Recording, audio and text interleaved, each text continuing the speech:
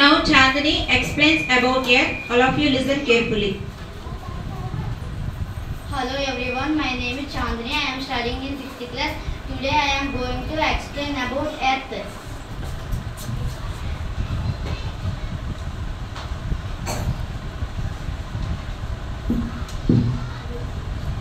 Our home planet, the Earth, is third nearest planet to the Sun. In size, it is fifth largest planet.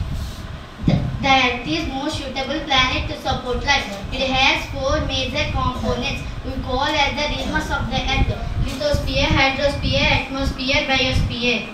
First one, lithosphere.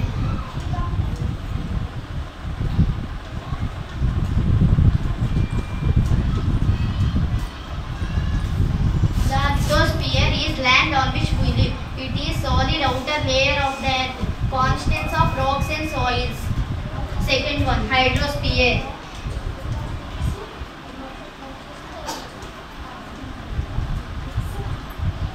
The hydrosphere consists of water bodies such as ocean seas, rivers, lakes, icy caps on mountains, tanks, etc.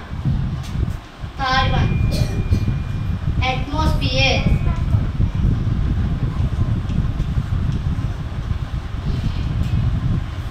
Atmosphere is the layer of air that surrounds the earth. Different types of gases make up the atmosphere. The major gases are nitrogen 78% and oxygen 21%. The other gases like carbon dioxide, helium, argon and ozone are present in smaller amounts. Fourth one, biosphere.